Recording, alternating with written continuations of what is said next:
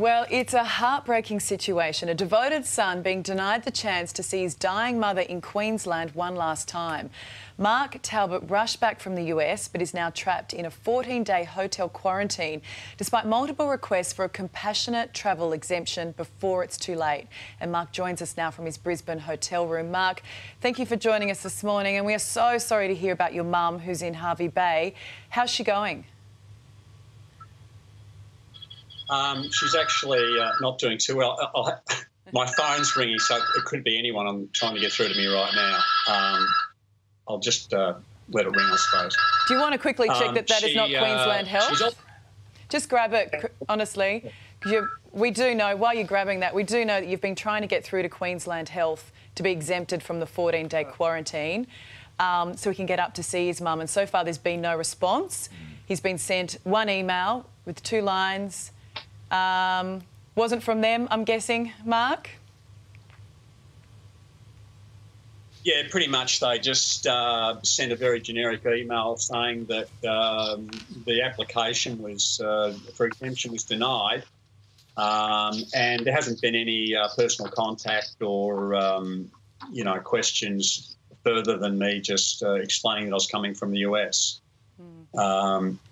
So I think the real issue is here is that I actually um, I live in San Diego. I'm a US and a, a, a Australian citizen, um, and I feel that they're just sort of uh, not letting me get through the system as anyone else would normally because of that fact. Um, when in fact I actually live in a very low risk area in San Diego with like 0.1 percent infection rate and zero deaths. Well, I mean, know, that's it. I've been in lockdown oh. for Sorry, sorry, Mark, because we sorry, know you've been, been, told that even yeah. if you test negative, you're not going to be allowed to visit your mum. And I mean, and this is the issue. You are coming from the United States. We do have to keep everyone safe, but there is also a need to be human here. Yes. So surely there is a way that we can get you to see your mum before it's too late. Are there any other options open to you right now? Uh, none that none that have been communicated to me. No, there's been no nothing put forward.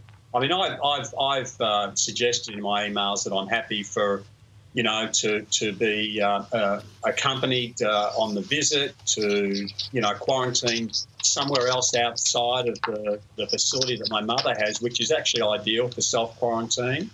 Um, there's a separate living quarters um, at a, a bed and breakfast uh, that uh, my brother runs on the property.